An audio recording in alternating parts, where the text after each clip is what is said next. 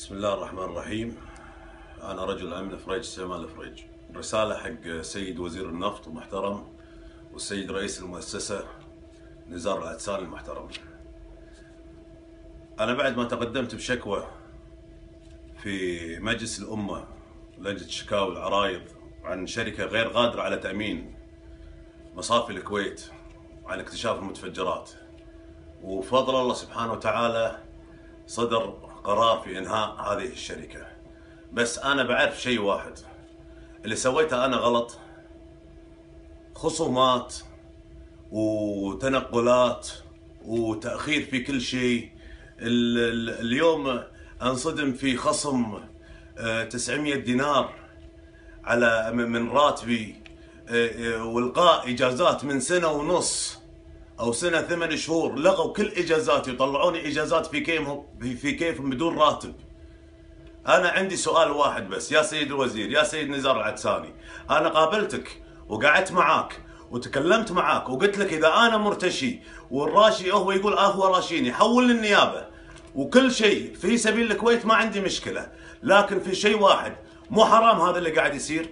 مو حرام كله خصومات وأذية 24 ساعة لمدة سنتين من مسكت العقد وأديت أمانتي. مو هذا غلط اللي قاعد يصير.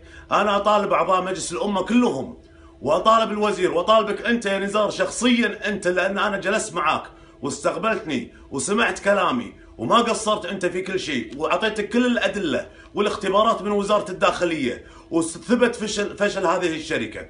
ليش هذا التعسف أنا معاي؟ ليش هذا قاعد يصير أنا معاي؟ إذا ما تبوني في شركة ال KNPC بلغوني خلوني أقدم استقالتي ولا هذا اللي قاعد يصير.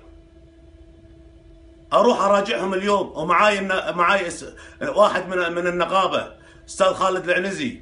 حضر معاي. يقول هذا قرار من من لجنة ال- ال- العلاقات العاملين أن إحنا نلغي كل إجازاتك ونخصم عليك.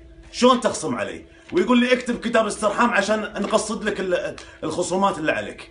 ليش هذا كله قاعد يصير؟ شنو السبب هذا قاعد يصير؟ ارضاء حق منو هذا؟ شنو اللي سويته أنا خطأ في حياتي في هذه الشركة؟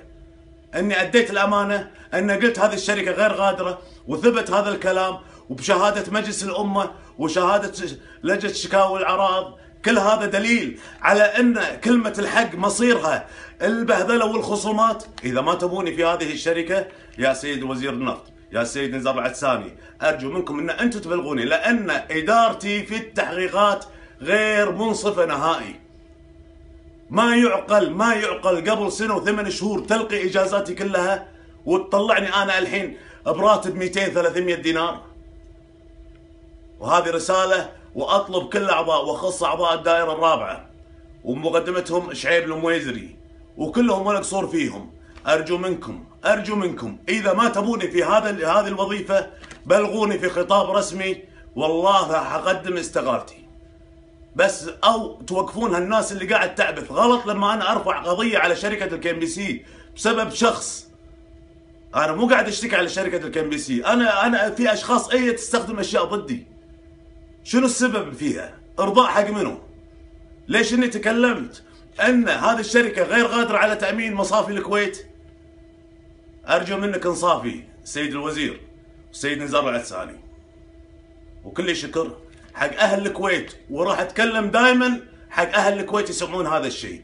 إذا هذا الشيء غير مرضي إن إحنا نقول كلمة الحق بلغونا في كتاب رسمي. لا تنسون إن إحنا وقعنا على عقد إن نصون هذا البلد ونحمي مصالحه. ومشكورين.